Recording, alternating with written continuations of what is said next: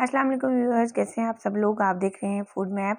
आज मैं आपके लिए लाई हूँ नहायत ही आसान तरीके से बनने वाली खस्ता कचौरी की रेसिपी। इसको बनाना बिल्कुल भी मुश्किल नहीं है तो चलिए जल्दी से बनाना शुरू करते हैं। अगर आपने अभी तक मेरे चैनल को सब्सक्राइब नहीं किया तो इस रेड कलर के बटन को प्रेस कर दीजिए और साथ दिए गए बेल आइकन को भी क्लिक करके ऑल पर सेट कर दें, ताकि मेरी हर आने वाली वीडियो का नोटिफिकेशन आप तक पहुँच सके। वीडियो अच्छी लगे तो उसे लाइक और शेयर कीजिए। सबसे पहले हमने यहाँ पे लिया है दो कप मैदा, जिसको मैंने पहले ही छान के रख लिया था। इसमें हम डाल देंगे एक चाय का चम्मच नमक और एक चौथाई चम्मच हम इसमें डाल देंगे अजवाइन। अजवाइन को हम हल्का सा हाथ से इस तरह मसल के डालेंगे। अगर आपको अजवाइन का टेस्ट नहीं पसंद तो आप इसकी जगह पर थोड़ा सा ज़ीरा ऐड कर लीजिएगा। अब हम इन सारी चीज़ों को हाथ से अच्छे से मिक्स कर देंगे। इसके बाद हम इसमें शामिल कर देंगे तीन खाने के चम्मच ऑयल। और इसको भी इसमें अच्छे से हमने मिक्स करना है। इसको हमने इस तरह हाथों से अच्छे से मसल मसल के मिक्स करना है, ताकि जब हम मैदे को इस तरह इकट्ठा करें मुट्ठी में तो ये इस तरह से इकट्ठा हो जाए। ये देखें तो बस अब हम इसमें शामिल कर देंगे पानी। पानी हम इसमें थोड़ा थोड़ा करके ऐड करेंगे। हमने इसकी एक सॉफ्ट सी डो तैयार कर लेनी है। तो ये देखें अब हम इसको काउंटर पे निकाल लेंगे और इसको इस तरह हाथों की मदद से इस तरह स्ट्रेच कर करके इसको डो को गूंद लेंगे ताकि ये अच्छे से सॉफ्ट हो जाए। जितना अच्छे तरीके से हम इसको गूंदेंगे, उतनी ही अच्छी हमारी कचौरी बनेगी।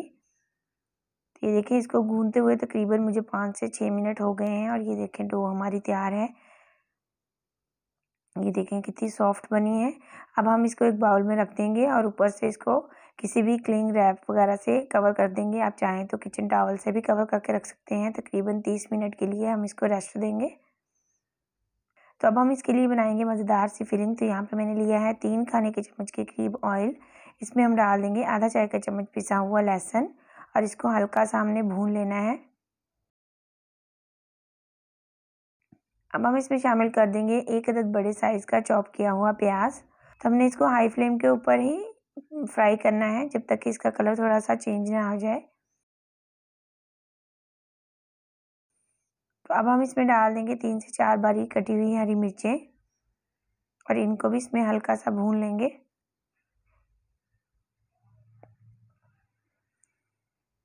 अब हम इसमें शामिल कर देंगे 300 ग्राम चिकन का कीमा।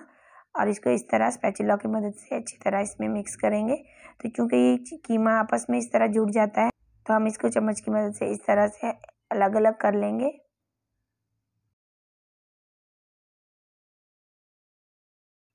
अब हम इसमें शामिल कर देंगे एक चाय का चम्मच, कुटी हुई सुरख मिर्च, आधा चाय का चम्मच या फिर अपने टेस्ट के मुताबिक आप इसमें नमक डाल लीजिए।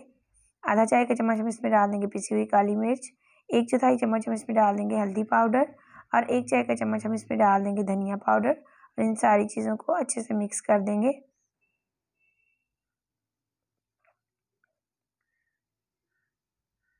अब हम इसमें शामिल कर देंगे आधा कप के करीब पानी और इसको अच्छे से इसमें चम्मच चलाने के बाद कवर करके रख देंगे पाँच से छः मिनट के लिए ताकि ताकि जो कीमा है वो अच्छे से गल जाए और पानी भी हमारा खुश्क हो जाए।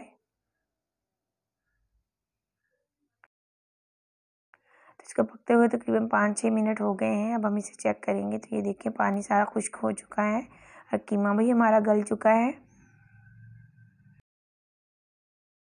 तब हम इसमें डाल देंगे आधा चाय का चम्मच पिसा हुआ गरम मसाला।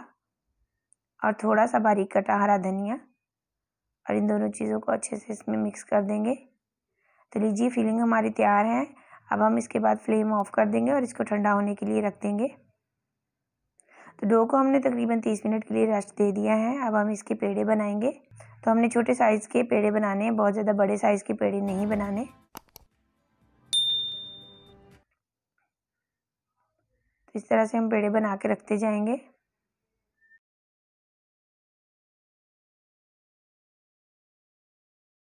पेड़े हमने तैयार कर लिए हैं, अब हम इनको साइड पे रखेंगे। और यहाँ पे हमने लिया है तीन खाने के चम्मच घी। आपने घी का ही यूज़ करना है। इसमें हम डाल देंगे दो खाने के चम्मच मैदा। और इन दोनों चीज़ों को अच्छे से मिक्स कर लेंगे और इसका एक पेस्ट सा बना लेंगे। आपने यहाँ पे ऑयल का इस्तेमाल बिल्कुल नहीं करना।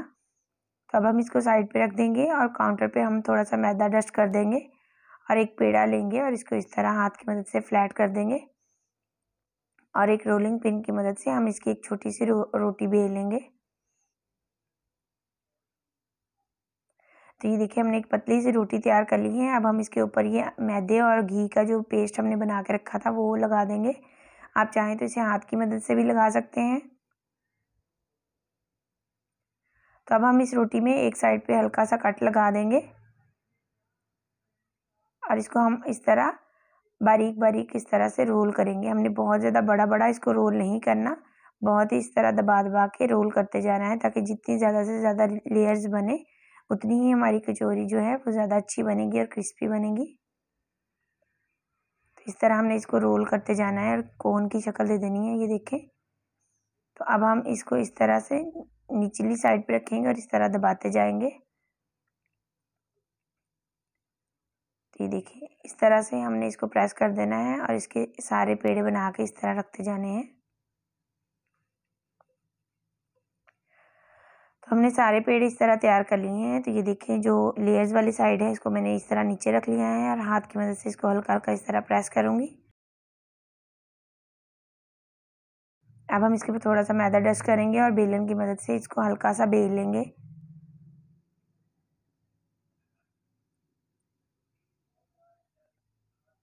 तो अब हम इसके ऊपर रख देंगे फिलिंग जो हमने तैयार की थी। आपने ख्याल रखना है फिलिंग बिल्कुल ठंडी होनी चाहिए, गर्म नहीं होनी चाहिए। तो हम तकरीबन दो खाने के चम्मच के करीब इसमें फिलिंग डाल देंगे।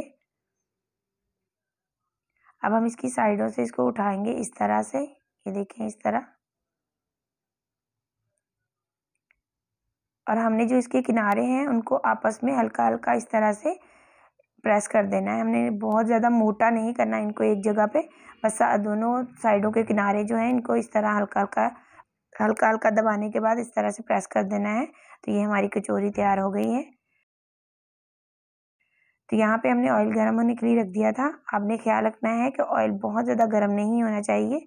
बस हल्का सा गर्म होना चाहिए। ये इसकी मेन टिप है। अगर ऑयल बहुत ज़्यादा गर्म होगा तो हमारी जो कचौरियाँ हैं, बहुत ही जल्दी से नीचे से जल जाएँगी और अंदर से कच्ची रह जाएँगी। तो हमने इनको बहुत ही हल्के गर्म ऑयल में डालना है और बिल्कुल हल्की आँच पे इनको फ्राई करना है। इनको एक साइड से पकते हुए कम से कम दस से पंद्रह मिनट लगेंगे।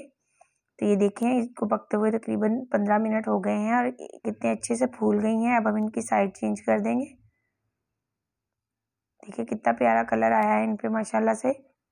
तो इसी तरह अब हम हल्की आँच पे ही दूसरी साइड से इनको पकने देंगे। तो ये देखिए, माशाल्लाह से दूसरी साइड पे भी इनको बहुत ही अच्छा सा कलर आ गया है।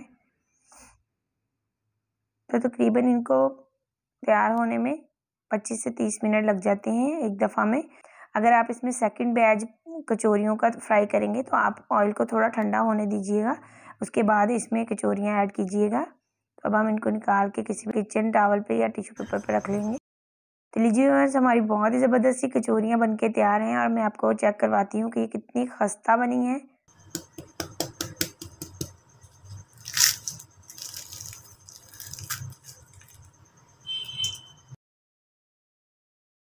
तो ये देखिए कितनी ज़बरदस्त हमारी कचौरियाँ बन के तैयार हुई हैं। तो आई होप कि रेसिपी आपको पसंद आई होगी। तो मिलते हैं अपनी नेक्स्ट वीडियो में। इजाज़त दीजिए। अल्लाह हाफिज़।